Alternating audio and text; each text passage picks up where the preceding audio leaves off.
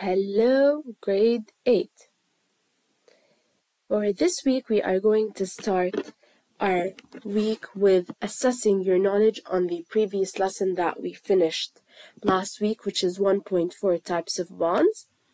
We are going to watch some videos about the ionic and covalent bonds, and then we are going to assess your knowledge by solving the lesson check and discussing any uh, missing points that you did not get from the lesson.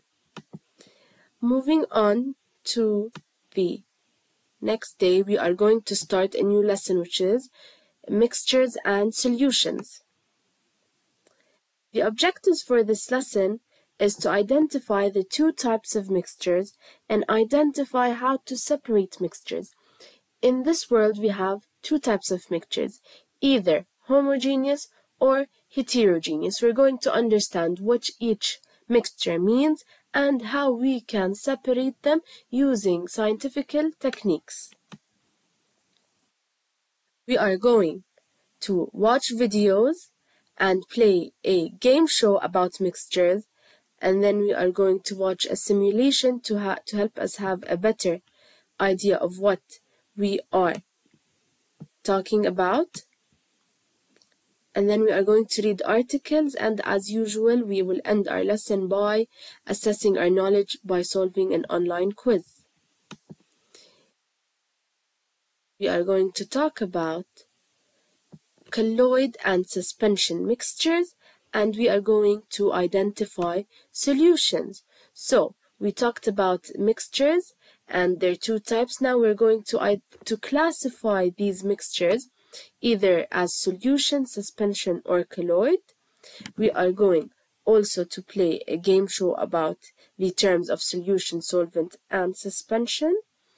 And then we're going to identify molecular solutes, and we are going to uh, read uh, flashcards about uh, the uh, terms.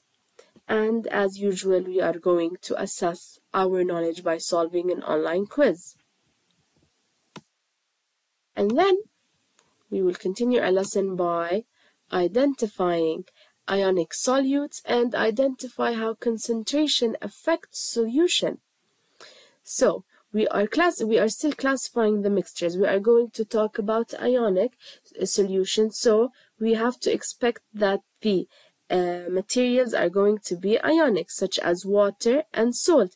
We're going to discuss how seawater is a solution, and then we are going to talk about the factor that affects the solution, which is concentration, and then we are going to view a simulation on the effect of concentration on the solution to help us get a better picture.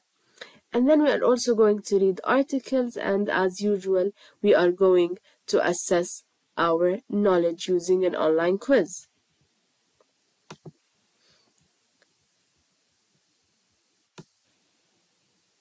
And then we are going to identify solubility and identify factors affecting solubility.